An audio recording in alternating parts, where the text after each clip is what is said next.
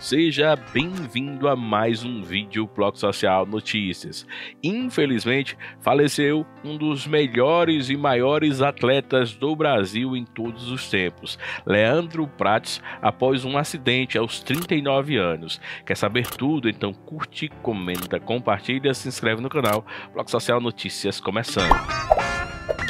Oi, gente. O corredor baiano Leandro Prates Oliveira, um dos melhores meio-fundistas e fundistas do Brasil, morreu na noite dessa segunda-feira 5 em um acidente de moto sofrido na rodovia Fernão Dias, em São Paulo. A Confederação Brasileira de Atletismo fez questão de prestar homenagem ao atleta e dar seus sentimentos a seus familiares e amigos. Leandro foi bicampeão sul-americano, bicampeão ibero-americano, medalha de ouro nos 1.500 metros nos Jogos Pan-Americanos de Guadalajara em 2011 no México. Leandro escreveu uma longa história no atletismo brasileiro. Acharam uma moto do corredor às margens da rodovia após ele sair do serviço na Escola de Educação Física da PM, onde existia a função de policial militar. Além de defender por muito tempo ONGs ligadas à educação e aos jovens atletas.